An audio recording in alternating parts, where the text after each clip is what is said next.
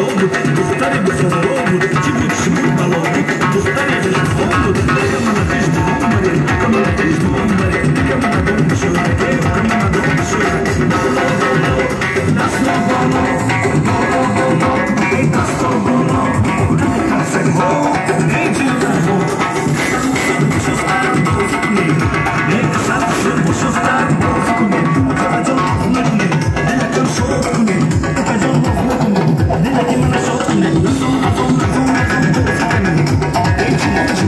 Thank you.